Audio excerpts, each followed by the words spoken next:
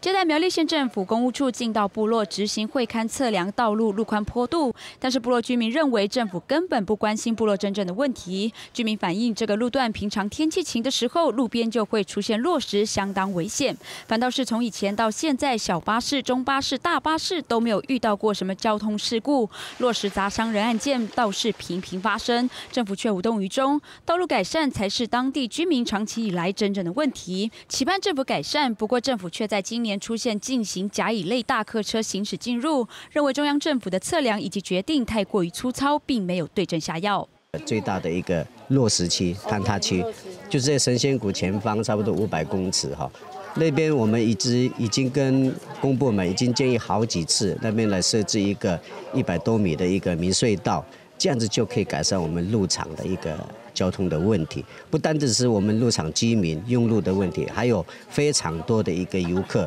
到路场来游玩一个安全的问题。他们不是说一定要，应应该是应该不是说要阻止或者禁止，是应该要改善。而且我们这是双，对不对？他们是应该要想办法改善，比那个十几年前甲类都车都可以上来。不过苗栗县公务处并没有针对鹿场部落道路落实问题做正面的回应，只说这趟来并不是来做落实的测量，而是针对坡度的测量。落实的部分是是落实，今天他主要的点是因为他担心说车子在开，哦，